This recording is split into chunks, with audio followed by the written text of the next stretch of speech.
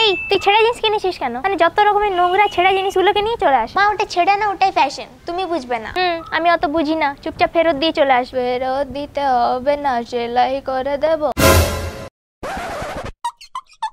এত চুল পড়ে যাচ্ছে কি জানি কবে টাকলা হয়ে যাব। সেলাই করে দেবো। ও বাবা! সবসময় শুধু সেলাই আর সেলাই। ভাই আজকে রেজাল্ট আমার পুরো ফেটে যাচ্ছে। দেখ তেরি।